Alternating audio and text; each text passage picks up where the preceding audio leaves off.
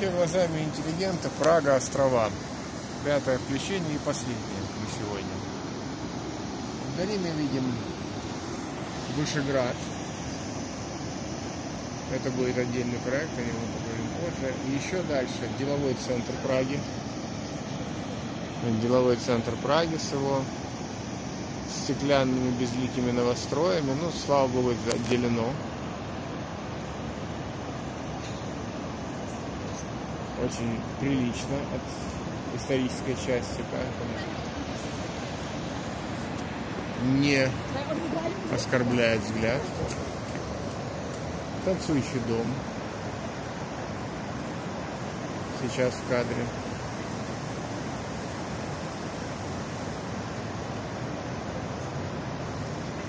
Под мостом проезжает катер. И, судя по всему, будет пытаться попасть узкий канал венецианского типа. Катер прогулочный, заполнен людьми. Сейчас мы с вами будем заходить на остров, на последний сегодня остров. Мы уже побывали на Кампе, на Стрелецком, на Славянском. А этот остров практически прилеплен к левому берегу, с которого мы начинали сегодняшние прогулки. Сегодняшний обзор Пражских островов. И это остров детский. Вот так я всем предлагаю вернуться в детство одним последним включением и улыбнуться. Улыбнуться ну, абсолютной миниатюрности острова, игрушечности и трогательности. Ну что ж, молодец, капитан. Твердой рукой ведет судно по узкому каналу.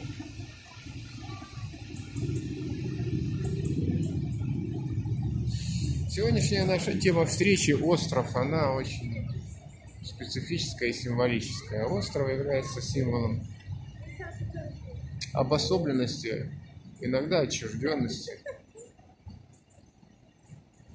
символом уединения.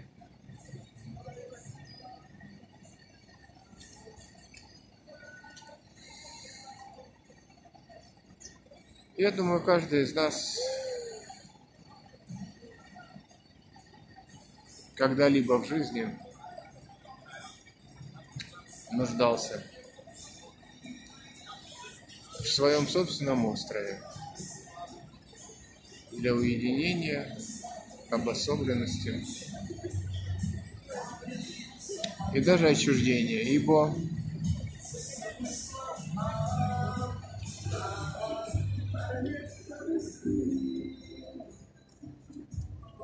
сложно не согласиться с тем, что в этом мире достаточно явлений, от которых бы хотелось отгородиться каком-то закрытом месте, к которому нет доступа.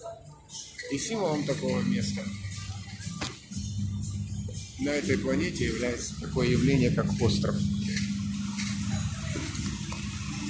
Я думаю, что сказано в этом смысле все. Это программа Чехия глазами интеллигента. Прага, острова. Оставляю вас наедине с детством, с собственным детством. Погружайтесь в него, в эти воспоминания чудесные, на детском острове. Вперед! Соло-оператора. До новых встреч!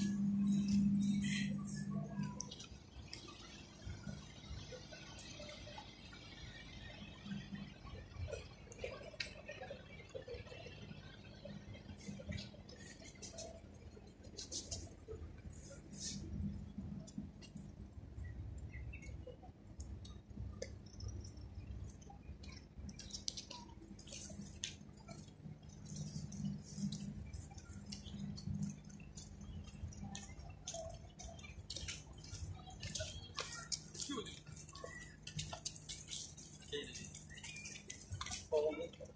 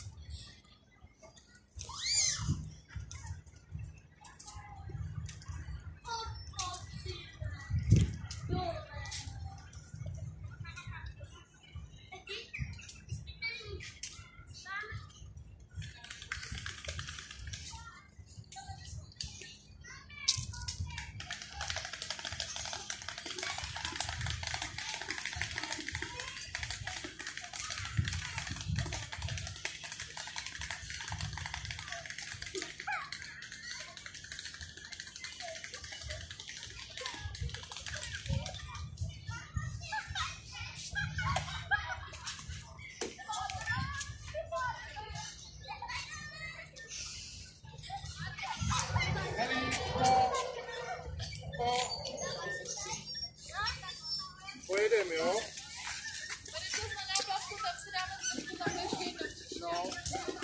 Ale počkej, Maru, tady jsou, tady jsou, tady jsou.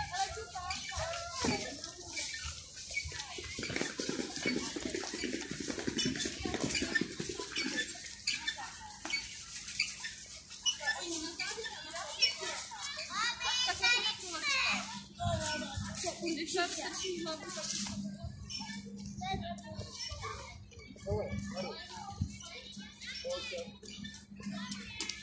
Hlavu, tak